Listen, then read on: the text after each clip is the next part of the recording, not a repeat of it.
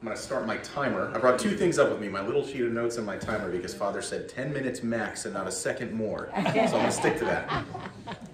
But good evening, everyone. Uh, my name is Regis O'Neill, um, and I'm so happy to be here with all of you to talk about my experience going with a group of, with it five of us, six of us? Five or six, five parishioners uh, at the Seek conference in St. Louis in, back in January. Um, I had a wonderful, wonderful experience, and Tim set the table uh, last week, kind of talking about the general vibe of the conference and what it was like uh, in a broad, you know, 10,000 foot sense. So I thought I'd tell you a little bit about my personal experience, and when all of us speak, you'll get a little bit of a different flavor of what we each took away from it. So first I'd like to tell you a little bit about myself um, because I am a brand new parishioner and I think none of you know me, which is totally fine. um, I think it's been just about six months now since I joined the parish. Uh, I moved back to West Hartford about a year ago, a little bit of a homecoming because I went to the University of Hartford, so it's nice to be back. Uh, I love being here. Um, I am kind of your stereotypical cradle Catholic. Uh, I was baptized as an infant, grew up in a very strong Catholic home. My parents have a wonderful, strong Catholic marriage. They are wonderful examples of what it means to truly put oneself uh, second and another first, um, both in terms of their relationship with each other and for myself and my two younger sisters, Lena and Natalie. I grew up in Middletown, and I did, in fact, go to Xavier High School, so I'm sorry for any yes. Northwest Catholic hearts that we broke in any sporting events uh, back in my time. Uh, only a little sorry. but uh, I, I was really kind of raised in this Catholic cocoon where I had a number of wonderful, wonderful role models and examples of what it means to be a strong Catholic and to live your faith out. My parents, my sisters, my dad's one of eight, big Irish Catholic family. I got about 40 first cousins, one of whom is a priest in the Archdiocese of Hartford, Father Philip O'Neill. If any of you have heard of him, he's uh, currently a military Air Force chaplain at an Air Force base in Germany uh, after spending time in Qatar and South Korea. I think he's nuts, but that's what he wanted to do. So, point being, I've had nothing but fantastic Catholic role models growing up. So, uh, with great power comes great responsibility, as Spider Man is fond of saying. Um, and so, I always felt like I was called to do something within the church. I was called to share my faith with someone else uh, or a number of other people in a special way. So after I graduated college, I decided to give a year of service to Capuchin Youth and Family Ministries in Garrison, New York, right on the Hudson River, uh, right across from West Point. We ran Catholic retreats for teenagers, about 80 of them during the year, um, culminating in a week-long service trip down to Harlan County, Kentucky, which is the third poorest county in America, coal mining country, where about 90% of the jobs disappeared in 10 years. Really, really poor spot. Um, and it was a transformative experience, uh, giving that year of service and working with young people. So much for, so much so that when I decided, when I came back, I decided that I wanted to work in youth ministry. And so I actually went and took a job uh, at St. Bridget of Sweden Parish in Cheshire, which funny enough is where my cousin was stationed for a couple of years, mm-hmm. uh, serving as the youth minister and the communications guru there. I had a high school youth group called the Next Generation of Disciples, or the NGD, um, and we did all kinds of fun stuff. We had an absolute blast, and it was a, a major part of my life. I did that for three years, um, and then after about three years, I started to feel a little bit of tension in my life. Uh, I was working a lot of nights, a lot of weekends, and I was, you know, going to church five days a week, Monday through Friday. And I found myself not wanting to come back on Sundays. And I said, well, this is not how I want to feel. this is this is a problem. This is affecting my spiritual life in a negative way. And so I discerned what my next step was going to be, and I actually decided to leave uh, working in ministry because of how burned out I was. Uh, there was no line between my personal life, my professional life, and my spiritual life. Uh, and certainly our faith is supposed to infuse all aspects of our life, but it was getting unhealthy. And so I did what every good young man in Connecticut does, and I took a job in insurance. I took a job with Chubb Insurance uh, in Simsbury doing employment practices claims. And the reason I took that job was because it was just a job and I didn't have to take it home with me, as I did with my ministry work, um, because I cared very personally and very deeply about that. So if I had one or two kids come to a youth group meeting, I took it personally sometimes, and that would weigh on me a little bit. So I've spent a ton of time talking about myself and nothing about Seek because it's very important for you to realize the context in which I came to Seek.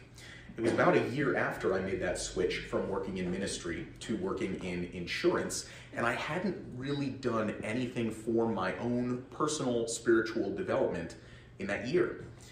I kept going to Mass, kept availing myself of the sacraments, um, you know, certainly kept practicing my faith, but I hadn't done anything to enrich or deepen my faith. And so it came as a bit of a surprise, and I'll admit there was a little bit of discomfort when just a couple of months after I registered with the parish, I got a call from Father Ford. He said, Hey, taking a group of people to Seek, Do you want to come? And I said, Can I think about it? I haven't heard about it? it was a it was a it was a scary proposition because this was this was going to be the first thing that I had done to deepen my own spiritual faith and I was worried once again about getting burned out again. I didn't want to feel like that again, but I prayed about it, I thought about it and I eventually said, "Yes, I will go. I will trust that the Lord is calling me here for a reason." And I'm so so glad that I did. Um, the trust came into play right off the bat when I hopped on a plane with a bunch of people who I had spent a grand total of about two hours with. we didn't know each other really at all before we went to Seek. I mean, you, you folks knew each other obviously, but I, am brand new. You know, I'm a baby parishioner. I didn't know anybody, um, and so it was not only that. I'm also deathly afraid of flying. Uh, not a fan. I prayed so hard on the flight home that I actually broke my rosary. but I'm here, so it worked. um, so this this radical trust that I decided to enter into paid off massive dividends right away. I know Tim talked about, and I'm sure you'll hear others talk about that first mass in the dome where the St. Louis Rams used to play that first night with 22,000 people sitting there worshiping, singing the hymns, receiving the Eucharist, and you could hear a pin drop in the reflection period after everyone had received communion. It blew me away instantaneously. It was like all that fire that I had for ministry came right back. I felt called, this is one of the two things that I took away from my time at Seek. I felt called by the Lord to dip my toe back in the waters, to get more involved in my parish, to do things like come and give a talk at a simple supper on a Friday night during Lent, or to run a Bible study, uh, which I'll plug my Lenten Bible study right at the end of this or also to start lecturing. So if you're at the 10:30 Mass this Sunday, I'll see you there. Um, point being, I had been away. I had taken some time to kind of cure that burnout, to refresh myself a little bit, and now this was the Lord calling me back through these 22,000 other people, but more specifically through the group from St. Peter Claver when we were there together, because there were all of these magnificent, powerful talks and Eucharistic adoration, masses that stick with me to this day. I mean, I, go back and watch the talks all the time. it's really, it was really something. But some of my favorite moments were the in-between, the quiet bits where, you know, we were out to lunch together or going out to dinner and swapping jokes and getting to know each other better and forming a small, strong Catholic community. That was what really, really did it for me. And I think that's the second piece that I took away from my time at Seek is that our church, capital C church, the Catholic Church, is at its heart a community. Community is the lifeblood of what it means to be in relationship with Christ because we are all the body of Christ. And if the foot decides to stop coming, then the body's going to tip over. If the head decides to stop engaging with the community, well, then there's going to be no direction for the rest of the body. So it's important that we engage with that community. Um, I think a lot of the time we as Catholics can really focus a little bit too much on, you know, uh, ritual teaching, that sort of thing, and all of those are vital to the life of a Catholic. But we have to remember that we are first and foremost a community of believers whose chief goal is to help those around us get to heaven. Full stop. And that's something that I've really been trying to remember uh, since I've come back from Seek. I'm going to leave you with one thing uh, before I wrap up here. And I'm at nine and a half minutes, so I'm pretty close. but the final piece is I want to uh, leave you with my favorite passage from the Bible. It's the story of Jesus and the woman caught in adultery. You know, when uh, they're all about to stone her, and he says, like, he was without sin, cast the first stone. But that's not the piece I want to focus on. It's after everyone drops their stones and walks away. Jesus goes up to the woman, and he says, Woman, who has condemned you? And she says, No one, sir. Then after that, Jesus says two things. He says, Neither do I condemn you. Now go and sin no more. Both of those are vitally important. You can't have one without the other. But he leads with Neither do I condemn you.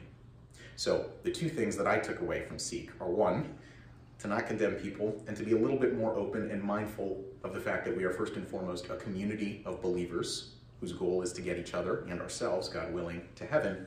And secondly, to dip my toe back in that water and re engage and be an active member of my faith, and not just a passive participant.